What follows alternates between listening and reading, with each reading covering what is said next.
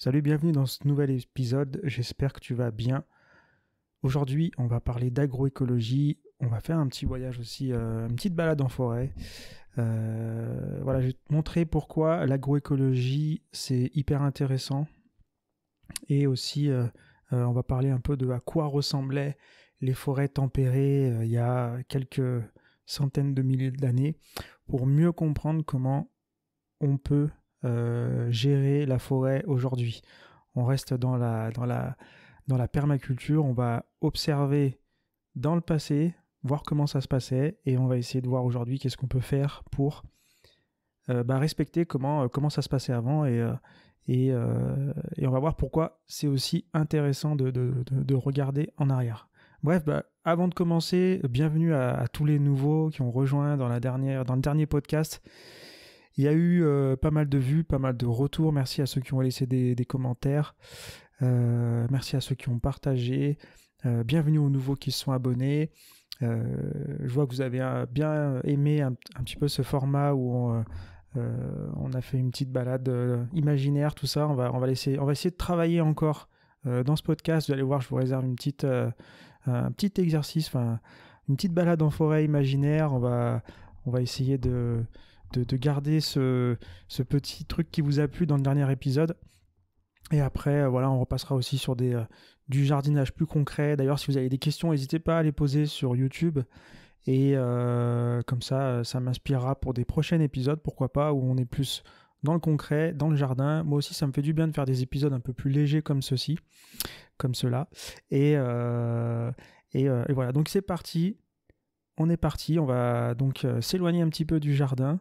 D'ailleurs, c'est un épisode que tu peux peut-être écouter euh, en faisant une balade dans la nature. En ce moment, il y a pas mal de pluie, pas mal de, d'orage, il y eu de la grêle aussi. Et euh, bon, c'est pas le pas le top en ce moment pour se balader, mais pourquoi pas là ce week-end ou peu importe quand tu écoutes ce podcast, voilà, peut-être mets-le de côté pour une, petite balade ou là, juste prends tes chaussures et, va te balader. Et donc c'est parti. Alors, L'agroécologie, on va parler d'agroécologie. Déjà, on va donner une petite définition là pour euh, si tu connais pas ce que c'est. Euh, j'ai pris la définition de Wikipédia et en gros ils disent que l'agroécologie est un ensemble de théories et de pratiques agricoles nourries ou inspirées par les connaissances de l'écologie, de la science agronomique et du monde agricole. Donc c'est de l'écologie euh, comment fonctionne, euh, euh, comment interagissent la faune et la flore ensemble, comment fonctionne un écosystème. La science de l'agronomie, ça c'est vraiment comment fonctionne un sol. et le monde agricole, bah, c'est comment l'homme interagit avec, avec son environnement pour créer sa propre nourriture. Donc voilà, c'est vraiment cette notion de, paysannerie le paysan, comme dit euh, Claude Bourguignon, le célèbre euh, biologiste, avec Lydia aussi Bourguignon. le paysan, c'est celui qui façonne le paysage. C'est vraiment celui qui qui ouais qui façonne le paysage quoi. Et tous les, paysages qu'on voit à la campagne, les bah, c'est le paysan qui qui, qui, qui le façonne. Et, et, donc son rôle, voilà, le paysan, il a aussi un rôle en, permaculture. Par exemple, il y a le principe numéro 8 de permaculture qui dit qu'il faut intégrer au lieu de ségréguer. Au lieu de ségréguer. Donc c'est euh, au lieu de, séparer les éléments, on va essayer de plutôt euh, de, les, euh, de les intégrer dans un écosystème plus global. On va plutôt, voilà, au lieu de, de, de vouloir se débarrasser des limaces ou des pucerons, on va essayer de les intégrer dans notre écosystème et euh, pour qu'ils en fassent partie et, qu'on soit pas en lutte constante. Donc voilà, le paysan, il doit aussi, il a ce rôle où justement il doit intégrer dans le, paysage euh, le monde agricole, la production euh, de nourriture et il doit aussi, bah, comme le dit le principe numéro 10, il doit se servir de la diversité et la valoriser. Aujourd'hui, on a trop fait de monoculture et il faut vraiment qu'on aille vers plus de diversité et, qu'on la, qu'on la valorise, qu'on comprenne aussi l'intérêt euh, de cette diversité, de cette biodiversité. C'est vraiment euh, hyper important en ce moment. Du côté de chez moi, j'habite en, Isère, en Nord-Isère, au sud de Lyon. Et euh, voilà, il y a beaucoup de projets là qui se font dans, les, dans, dans, les campagnes. Des projets de, oui, d'agroécologie, d'agroforesterie. On veut replanter des haies dans les champs. Et ça pose pas mal de, de, questionnements auprès des, agriculteurs. Une fois, je discutais avec un, conseiller municipal chargé de biodiversité et, il me disait qu'ils avaient vraiment un peu voilà, du mal à, faire comprendre l'intérêt aux paysans, l'intérêt de replanter des haies en fait. Enfin, les paysans étaient un peu réfractaires parce que euh, ils disent voilà, qui c'est qui va entretenir ces haies euh, Ça va me prendre de la place. Euh, voilà, il va falloir l'entretenir, tout ça. Donc, ils ont un peu du mal à, comprendre tous les, tous, les, tous les intérêts à faire revenir de la diversité, de la biodiversité, à planter des haies, à créer des connexions. Les haies, c'est comme des. dans, les, dans les champs, les haies, c'est des couloirs comme des autoroutes pour les, pour les animaux. Pour ceux qui connaissent la, les trames vertes, euh, si ça, t'intéresse, tu peux aller faire des recherches. Et en gros, voilà, on a besoin de haies pour plein de choses. Il y a plein de, fonctions dans la, dans la haie. On va, on y revenir. Et, euh, voilà. Tout ça en gros pour dire qu'à une époque, on a cherché vraiment à euh, dominer, la, domestiquer la nature après la, la Seconde Guerre mondiale, notamment, où on a euh, vraiment accentué, accéléré euh, la production agricole, ce qu'on en avait besoin. Et donc là, à cette époque, on a énormément arraché de haies qui étaient déjà présentes dans, dans, dans l'agriculture, au début de l'agriculture. On avait déjà pas mal de haies. Et euh, bah, le but, ça a été vraiment de, de faire de la place. Donc on a arraché les haies, on a tout, on est reparti à zéro, on a tout rasé et vraiment il fallait des surfaces, des grandes plaines d'agriculture. On avait besoin de ça pour euh, produire euh, plus.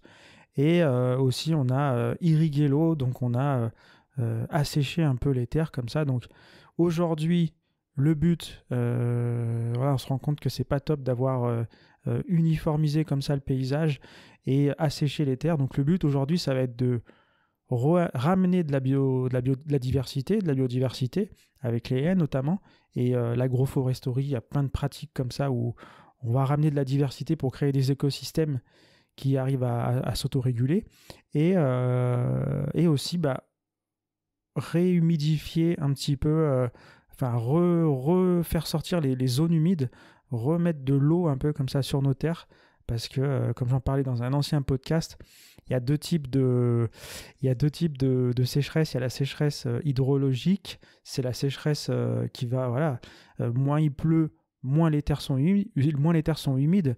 Mais on a aussi la sécheresse structurelle qui fait qu'on a tellement irrigué l'eau que bah, l'eau elle est plus présente, les nappes phréatiques sont vides et elles sont dépendantes de la pluie. Donc déjà en essayant de réhumidifier tout ça, on, peut gagner en, humidité, on peut gagner en, on peut faire revenir l'eau sur nos terres, on peut réhumidifier nos terres. Et euh, notamment en ce moment, on a pas mal de castors encore du côté de chez moi en Isère. Le castor, il remonte petit à petit et euh, il est de plus en plus présent en France. Et euh, voilà, ça pose pas mal de problèmes aussi avec les, les, paysans, les personnes qui, qui, qui, doivent cohabiter avec ce castor. Ça, c'est un petit peu compliqué. Il faut qu'on apprenne justement à cohabiter avec ce castor. Et d'ailleurs, tout ça, ça pourra faire aussi le, sujet d'un prochain podcast. Si ça vous t'intéresse, n'hésite pas à me le dire. J'ai euh, pas mal observé le castor euh, ces derniers mois. Ça m'intéresse euh, énormément et j'ai deux, trois choses à partager dessus, je pense. Donc, n'hésite pas à, manifester ton, ton, ton désir que je parle du castor. Et, et voilà, donc aujourd'hui, on cherche vraiment à revenir en arrière, à réhumidifier, à rapporter de la biodiversité.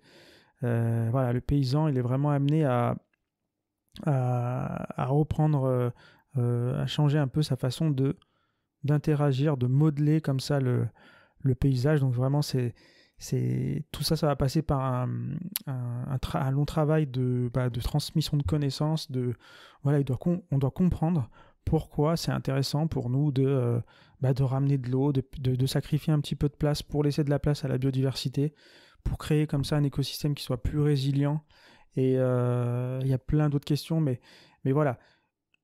Quelques fonctions. Je vais te parler de donner quelques fonctions aussi. Voilà, comme ça tu sauras euh, aussi toi euh, pourquoi les haies sont c'est intéressant, pourquoi quelles fonctions ont les haies, pourquoi elles sont intéressantes pour, pour nous. on va respecter la, les, tu vas voir que ces, ces, fonctions, elles respectent aussi les éthiques de la permaculture qui sont prendre soin de l'homme prendre soin de, la terre et partager les ressources. Et euh, donc on va s'inspirer de tout ça et, comme ça tu pourras faire passer le, passer le message. Donc une des, fonctions qui est donc agronomique, on parlait tout à l'heure de, du paysan qui non, de l'agroécologie qui, qui s'intéresse énormément à l'agronomie, l'étude du sol, la science du sol. donc ça ça a un effet brise-vent. donc une haie, ça, ça, brise le vent. Donc, euh, ça, peut être intéressant dans certains cas pour certaines cultures qui, qui, qui, euh, sont sensibles au vent, euh, juste parce que le vent aussi peut ramener du froid, il peut ramener de la sécheresse, il peut aussi coucher certaines plantes. Donc, la haie, elle peut être intéressante pour, à certains endroits, pourquoi pas, on n'est pas obligé de quadriller encore tous nos toutes nos, tous nos espaces de culture, mais haie, elle peut être intéressante parce qu'elle peut faire donc office de brise-vent. elle peut aussi protéger les troupeaux au lieu de mettre des barrières, euh, des fois c'est intéressant de mettre des haies. Il y a certaines haies qui sont euh, euh, très difficilement franchissables. après, voilà, il y a un temps de mise en place, mais ça peut aussi protéger les troupeaux, ça peut aussi protéger des bâtiments. Ça, attention aussi au risque d'incendie, mettre des végétaux trop près des bâtiments ou par exemple dans ton jardin, si tu veux mettre des végétaux un petit peu, des fois trop près de ta maison, il faut essayer de, stratégiquement placer les éléments pour éviter que le feu se propage assez euh, facilement vers, euh, vers les bâtiments. Bref, ça peut aussi donc euh, conserver et amender le sol. Donc voilà, la, haie avec les racines, elle, maintient le sol, elle nourrit le sol, elle, elle permet aussi, si c'est une haie qui va, qui va perdre ses feuilles ou qui va faire des fruits, qui va perdre ses fruits, et eh ben elle va aussi, tout ça, ça va nourrir le sol. Et, voilà, elles sont aussi un refuge pour euh, la faune, un refuge pour, euh, les, pour certains auxiliaires de culture. Hein. si, euh, souvent, je me souviens, il y a 10 ou 15 ans, on avait, on avait fait beaucoup de lâcher de coccinelles parce qu'on avait pas mal de problèmes de pucerons. C'était dans les années peut-être 2005, 2010 par là. On avait, du côté de chez moi en tout cas, il y avait eu beaucoup de lâchers de, de, coccinelles. C'est la grande mode de la coccinelle. Et, et, donc, je crois qu'on on les lâchait limite par hélicoptère. Enfin, c'était vraiment euh, des gros lâchers de coccinelles pour lutter contre euh, l'invasion des pucerons. Et euh, voilà, le fait d'avoir des haies, ben, toutes ces coccinelles, l'hiver, au lieu de, de, de, se battre pour trouver un endroit où, où, passer l'hiver et, et se redévelopper au printemps, et ben, grâce aux haies, on peut aussi avoir des refuges pour, pour les, les coccinelles et les futurs auxiliaires dont on aurait besoin en cas de, de, problème. Donc voilà. Et c'est aussi, bien sûr, un refuge pour les insectes pollinisateurs. Et pour certaines euh, euh, pratiques agricoles, pour certaines cultures, ça peut être intéressant d'avoir des, pollinisateurs parce que euh, ça peut augmenter la production des, de la production de nourriture. Il y a même dans certains certains, il y, des, apiculteurs qui vont carrément louer leurs abeilles et qui vont les déposer dans, des champs, dans des vergers pour augmenter la production et des paysans qui payent pour ça. Donc les haies aussi, ça permet de, euh, de, faire venir les insectes pollinisateurs si on choisit des végétaux qui, euh, qui, qui, fleurissent, enfin si on choisit des végétaux qui euh, stratégiquement vont fleurir en même temps que, que, que ce qu'on cultive. Donc voilà, ça a aussi d'autres fonctions comme la fonction de production, ça peut produire du, du bois de chauffage, ça peut, comme par exemple le, le, miscanthus, c'est une des haies en miscanthus, ça peut être intéressant parce que ça pousse très vite et ça produit, euh, je crois que c'est l'une des plantes qui, euh, je ne vais pas dire de bêtises, mais euh, c'est l'une des plantes ouais, qui, produit le plus de biomasse qu'on peut réutiliser par exemple pour, pour, pour son, son poêle à bois. Et, et du coup, bah voilà, c'est une plante qui pousse vite, qui produit beaucoup et qu'on peut facilement réutiliser pour bois de chauffage. Et voilà, il y a plein d'autres plantes qu'on peut, qui poussent vite. Mais voilà, Miscanthus, c'est intéressant parce que ça ne demande pas beaucoup de. de ça, pousse assez facilement. Quoi. Euh, ça peut aussi servir pour faire du bois d'œuf, pour de la construction. Euh, ça peut produire des fruits, comme on disait, et, et, plein d'autres choses. Ça a aussi des fonctions sociales parce que toutes ces haies qu'on est en train d'installer, euh, bah, il faut bien que ça soit. pour l'instant, les tracteurs, ils savent pas planter des haies. Ça peut aider, mais, euh, mais voilà, on a besoin de bras, on a besoin de mains.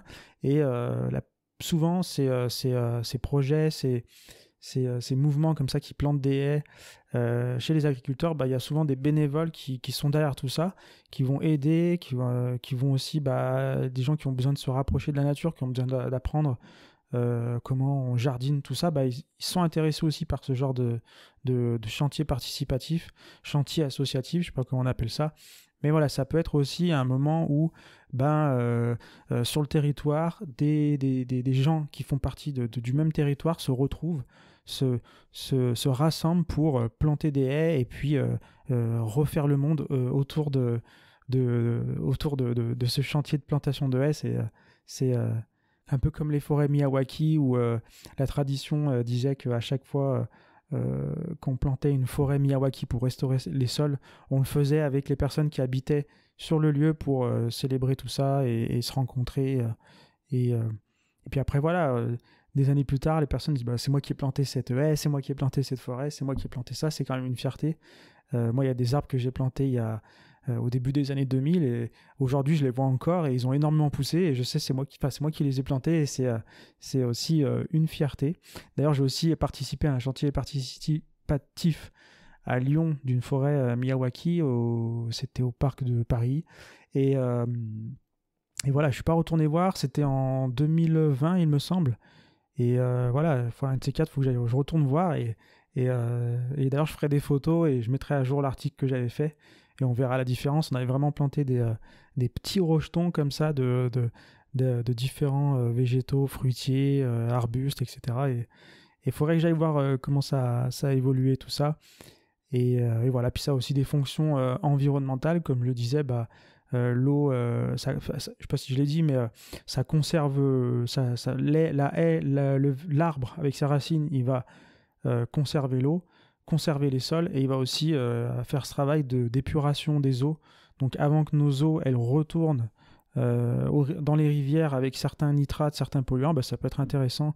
Bah voilà, les elles sont là aussi pour euh, aider l'eau à s'infiltrer et à, à nettoyer l'eau avant qu'elle rejoigne les rivières et qu'elle pollue aussi nos rivières. Et ensuite, ça va aussi réguler le climat parce que euh, les végétaux euh, ils, captent le CO2, ils captent le carbone, ils le remettent dans le sol et euh, du coup on a moins de carbone dans l'air, on a moins d'effets, de moins de gaz à effet de serre et, du coup c'est beaucoup mieux. Et bien sûr, notre fonction environnementale, c'est que ça va préserver la biodiversité. Donc, donc voilà. Donc comme je disais, ça respecte les, les, trois éthiques de permaculture. Donc on est vraiment là en train de, avec euh, ces, mouvements comme ça de plantation de haies euh, dans les paysages euh, à la campagne, eh ben, on est vraiment, on respecte la biodiversité, enfin, on respecte la nature, on respecte l'humain aussi, on prend soin des deux. C'est ça que je veux, les éthiques. Donc vraiment, on prend soin de l'humain, on prend soin de la nature, et en plus, on produit de la nourriture on la partage. Et, donc, on est vraiment en plein dedans. voilà, c'est des les haies, c'est vraiment des, des écosystèmes et euh, qui peuvent euh, euh, être vraiment très utiles et, qui sont très utiles. Donc tout ça, c'est des messages à vraiment ancrer, à comprendre, à faire passer. Et, ça, c'est un gros travail à, faire. Bref, et si on, se quittait, on quittait un petit peu, on, quittait un petit peu tout ça, on quittait un petit peu tous les soucis là, et on entamait ce fameux voyage dont je vous parlais au début du podcast, si ça vous dit. Donc, euh, on va parler un peu de la forêt, euh, comprendre, comme je disais, on va essayer de regarder un petit peu dans le passé pour voir comment ça se passait avant et euh, mieux comprendre aujourd'hui comment on va eh ben, accompagner comme ça cette, cette transition écologique, j'ai envie de dire. Donc, imagine, imagine, donc on va faire ce voyage dans le temps. Imagine que, voilà, avant, les forêts, en fait, elles étaient, elles étaient, euh, on, parle des forêts euh, tempérées, donc il y a euh, une centaine de, environ 100 000 ans là, une forêt tempérée, voilà, quand on pense à, quand on imagine ça, voilà, imaginons que je te dis, à ton avis, à quoi ça ressemblait, je sais pas, ton département, ton, ton, ta région, ton pays, à quoi ça ressemblait avant qu'on arrive et qu'on fasse euh, déjà qu'on devienne chasseur-cueilleur et qu'ensuite on, commence à faire de l'agriculture et tout. À ton avis, à quoi ça ressemblait euh, le paysage comme ça? Une forêt tempérée, on est en climat tempéré, donc à quoi ça ressemblait? Normalement, tu dois t'imaginer bah, une forêt classique, voilà, un, territoire rempli, au lieu d'avoir des grandes villes urbanisées, au lieu d'avoir des grands champs agricoles, bah, on avait des grandes forêts avec euh, plein d'animaux à l'intérieur, avec des chouettes, des sangliers, des renards, des chevreuils, des loups, euh, des blaireaux, des écureuils, des cerfs, plein d'animaux comme ça, plein de mammifères, plein de, carnivores aussi, enfin de, des herbivores, des carnivores. Il y avait vraiment euh, une richesse énorme, je pense. Tu imagines tout ça. Et peut-être même des animaux qu'on n'a qu'on n'a pas connus, qu'on a oubliés. Et en fait, le truc qu'on s'imaginerait, moi, ce que je m'imagine en fait quand je pense à, des fois quand je me balade dans la forêt ou euh, quand je me balade dans la nature, euh, j'imagine comme ça, je regarde et je vois euh, bah, la forêt et je vois aussi pas mal de champs agricoles et tout. Je me dis ouais, c'est n'importe quoi. on, euh, on, détruit la nature pour produire de la nourriture. Enfin, j'en suis pas là, mais c'est vrai que ça me touche un peu, mais en même temps, je comprends aussi qu'on a, on a besoin de ça pour, euh, manger, tout simplement. Mais euh, voilà, on pourrait penser qu'en fait, il y avait 100% du territoire qui était que de la forêt, en fait. Et en fait, non. En fait, il y a une étude qui, monte, qui montre qu'il y a environ voilà, 130 000 ans, en fait, bien avant que qu'on euh, qu'on commence à faire, euh, bah, que, l'homme euh, vraiment se développe et commence à vraiment modifier son environnement, et eh ben en fait en Europe, en climat tempéré, les forêts tempérées, il y avait pas, c'était pas, c'était pas vraiment ça en fait. C'était pas une grande forêt sombre avec plein d'animaux, plein de chouettes, des sangliers, tout ça. il y avait ça, mais en fait plus de 50% du paysage, en fait c'était déjà entre guillemets, c'était des prairies, c'était des pâturages un petit peu boisés, c'était des forêts qui étaient un peu claires il n'y avait, pas vrai, il y avait pas que de la forêt en fait. Il y avait déjà euh, cette euh, diversité de, de, paysages. Et du coup, voilà, après, il faut se dire que euh, ça, l'étude, elle a démontré ça pour, pour, pour, il y a, pour, voilà, il y a 130, millions 130 000 ans. C'était comme ça, mais avant, voilà, peut-être qu'avant c'était de la grande forêt, on ne sait pas vraiment. Mais en fait, on sait qu'il y a 130 000 ans avant que l'homme arrive, eh ben, c'était comme ça. Alors, juste pour euh, remettre un petit peu euh, les pendules à l'heure, parce que c'est vrai que 130 000 ans, si t'as pas vraiment les... Euh, moi, je sais que j'ai un peu de mal des fois avec ces notions de, ouais, il y a 30 millions d'années, il y a 3 milliards d'années, il y a... Je vais te faire un petit, une petite, je vais t'aider à te faire une petite représentation de ce à quoi ça ressemble 130 000 ans, il y a 130 000 ans. En gros, dis-toi qu'il y a 4,5 milliards d'années, voilà, tout l'univers s'est formé, euh, euh, voilà, le Big Bang, tout ça. Et euh, donc imagine qu'en fait, on va prendre ça sur 24 heures. Donc imagine que sur 24 heures, à minuit, c'était il y a 4,5 milliards d'années. Donc minuit, formation de la Terre, tout ça, tac. Voilà. Ensuite, imagine donc à 4h10 du matin, euh, c'est là où il a, commencé à avoir les premières formes de vie sur Terre. Euh, donc euh, de minuit à 4h10, en gros, il n'y avait rien. Ensuite, donc les premières vies, elles, commencent à apparaître à 4h10 du matin, on va dire. Et ensuite, à 17h45, là, il, commence à avoir l'apparition des premiers organismes multicellulaires. Avant, la vie, c'était juste des, des, cellules comme ça qui, qui était euh, qui apparaissait de voilà des cellules et euh, c'est que donc de 4h10 du matin à 17h45, c'est que des petites cellules comme ça qui, qui, représentent rien du tout. Hein. Il n'y a pas de plantes, il n'y a pas d'animaux, il n'y a rien. C'est juste des petites euh, des cellules qui apparaissent comme ça, qui, qui se baladent, des trucs microscopiques. Et, et donc 17h45, là, il commence à y avoir des, des organismes un petit peu, des petits, comme des petites plantes ou des petits animaux. Après, on va pas rentrer dans le détail. Hein. Mais voilà, 17h45, on commence à avoir des organismes qui sont multicellulaires. Voilà, où il y a plusieurs cellules, où c'est un petit peu organisé, il se passe quelque chose. Ensuite, on continue. Et là, on passe à 23h40. 23h40, donc là, on est quasiment on a fini les 24 heures. Hein. Minuit, formation de la Terre. 4h10, apparition des premières formes de vie, comme ça, des petits balbutiements. 17h45, quelques petits organismes multicellulaires, mais rien, il n'y a pas de plantes, rien du tout. C'est vraiment des petits trucs qui apparaissent à droite à gauche. Et ensuite, 23h40, donc entre-temps, voilà, il y a eu les, plantes, il y a eu les animaux, tout ça. Et donc 23h40, ça représente la disparition des, des dinosaures. Donc ça, c'était à 60 millions d'années à peu près. Donc t'imagines. Et l'apparition, alors tiens-toi tiens bien, l'apparition des premiers hommes, c'est à 23h59 et 56 secondes. Donc 4 secondes avant minuit, donc dans les 24 heures depuis l'apparition de la Terre jusqu'à 24 euh, heures, donc à 23h59 et 56 secondes, eh ben, il y a l'apparition des premiers hommes. Donc pour dire là, euh, les 130 000 ans, on est à peu près ça. Et, euh, et c'est un petit peu avant, c'est peut-être 23h59 et 55 secondes.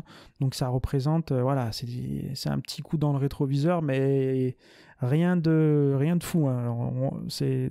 nous, notre présence sur Terre, elle représente rien. 23h59 et on arrivé à 23h59 et 56 secondes. Donc euh, aujourd'hui euh, c'est minuit de nouveau en fait. Donc voilà, on a à l'échelle de 24 heures, nous on représente 4 secondes euh, dans l'histoire de la Terre, l'histoire de l'univers même. Bref, donc ça c'était pour revenir un petit peu en, arrière et comprendre un petit peu mieux. Et, et donc voilà, comme je disais, il y a plus de 50% de paysages qui, qui, étaient, donc il y a 130 millions, il y a 4 secondes en arrière, il y a plus de 50% des paysages qui étaient ouverts. Donc il y avait déjà des prairies, il y avait déjà des pâturages euh, boisés, il y avait déjà des forêts claires, comme je disais.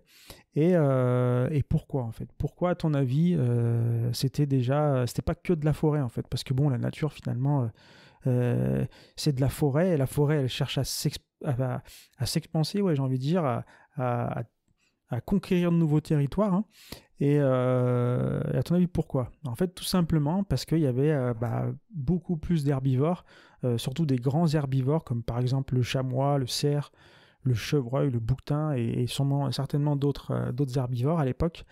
Et en fait, eux, en, grignotant, pardon, en mangeant comme ça les, les végétaux, et eh ben, ils ont maintenu plus de 50% du territoire, euh, ils l'ont maintenu en Europe, pardon, en, euh, en, en, paysage ouvert, clairsemé, en, pâturage, quoi. Et euh, en prairie, tout ça. Et, donc c'est fou, en fait. Donc déjà, à l'époque, il y avait déjà il y avait déjà bah, ce genre de, paysage qui ressemblait finalement à ce qu'on a aujourd'hui en termes de, euh, répartition. Après, je sais pas, j'ai pas les chiffres, mais déjà à l'époque, voilà, c'était pas que de la forêt finalement. C'est pas vraiment l'homme qui est arrivé, qui a dit on coupe toutes les forêts et tout. Euh, voilà, il y avait quand même déjà euh, des endroits où c'était déjà plus ou moins près, même si on a quand même, et encore aujourd'hui, on coupe des forêts pour faire de l'agriculture. Mais, mais voilà, c'était, c'était déjà un peu comme ça à l'époque. Et pourquoi je te disais en fait Parce qu'en fait, ce, cette, comme on, dit, c'est cette euh, hétérogénéité, cette euh, diversité de paysages, en fait, elle a permis une chose, elle a permis le développement euh, de plein de niches écologiques différentes, de la biodiversité, ça a vraiment enrichi la, faune, ça nous a vraiment justement laissé un patrimoine de biodiversité au niveau de la faune, il faut s'imaginer que voilà, il y avait des, donc des forêts, il y avait des grandes étendues avec des grandes zones humides. Donc dans les zones humides, il y avait euh, euh, plutôt des libellules, des crapauds, des, des euh, plein d'animaux comme ça qui préfèrent vivre dans l'humidité. Il y avait des zones carrément inondées avec des roseaux. Il faut s'imaginer qu'il y avait des zones qui étaient plutôt pentues sur la roche avec de, des zones sèches, des zones avec des, zones avec des terrains plutôt acides, des zones avec des terrains plutôt calcaires, des zones un petit peu euh, désertiques, euh, des zones... Euh, voilà, vraiment tout un tas de, de, zones différentes. Et du coup, on a, on a vraiment un patrimoine en Europe qui est vraiment très riche au niveau de la, bah, des niches écologiques, comme je disais, et, et, de la biodiversité. Et c'est pour ça eh ben, qu'aujourd'hui, c'est vraiment hyper intéressant de continuer à, à Enfin, je dis pas que c'est intéressant de continuer, mais aujourd'hui, on a quand même cette chance de se dire que quand on va planter des haies, quand on va prendre soin de notre paysage, quand on va euh, essayer de réintroduire un petit peu de, de, végétaux, de diversité dans nos paysages, et eh ben en fait, il y a déjà toute une biodiversité qui est déjà adaptée à tous ces milieux. Si on, si on ramène, euh, par exemple, des, euh, des, plus de zones humides, si on, euh, si on ramène plus de, de, végétaux, tout ça, ben en fait, il y a déjà une biodiversité qui n'attend plus que ça. Et, et, du coup, ben en fait, en faisant ça, on participe aussi à la préservation de, de, notre héritage, de, de, cette biodiversité. De, voilà, en maintenant cette euh, hétérogénéité, en maintenant cette diversité des paysages, bah voilà, on, on, continue à, hum, on préserve notre, notre, notre biodiversité. Donc, il faut qu'on continue à planter des haies, qu'on continue à, à, creuser des mares, il faut préserver les prairies, euh, préserver aussi les forêts, c'est important, mais aussi les prairies, les petits pâturages, les, euh, voilà, toutes ces choses-là, c'est vraiment hyper important de, euh, de, les préserver. Donc voilà, c'était mon message que je voulais te faire passer dans ce podcast aujourd'hui. Euh, voilà, en gros, pour te résumer, euh, avant, bah, les forêts, elles n'étaient pas vraiment... Bah, déjà, pour revenir au tout début, l'agroécologie, qu'est-ce que c'est? Bah, En fait, c'est redonner du sens redonner du sens à nos actions sur, le, sur les campagnes, sur les paysages de la campagne, redonner du savoir à nos paysans, euh, permettre à, la diversité, la biodiversité, la mixité des paysages de, s'enrichir. Et, euh, et, parce que voilà, justement, avant, il y a 100 euh, 000 ans, bah, c'était déjà comme ça. Donc, il y a toute une biodiversité, toute une faune qui est déjà adaptée à ce genre de, paysage, qui, a évolué au, fil du temps et qui a euh, qui s'est adapté à, ce genre de paysage. Donc tout est là, il n'y a plus qu'à y faire euh, revenir, à y faire revivre, à y faire se multiplier et, euh, et à créer des écosystèmes comme ça qui s'autorégulent, qui, qui, sont bénéfiques. Donc, donc voilà, la forêt, moi j'adore. Mais voilà, avant on n'avait pas que de la forêt non plus, et c'est intéressant d'avoir de la, diversité, de se balader dans des décors qui sont riches. qui, voilà, c'est toujours intéressant d'avoir de la diversité. S'il y avait que des forêts, je pense que euh, ça serait pas. Euh, ce serait bien, mais voilà, ce serait, ça serait plus intéressant d'avoir plein de diversité de, paysages. Donc voilà, je ne vais pas aller plus loin dans tout ça. J'espère que cet épisode t'a plu. N'hésite pas à me le dire dans les commentaires si tu as des questions. Rendez-vous sur YouTube, comme ça tu peux me poser des questions dans les commentaires. Si tu veux me soutenir aussi, bah, euh, tu, peux, euh, tu peux partager ce podcast, tu peux mettre des, des pouces, des, évaluations sur euh, les plateformes de podcast, etc.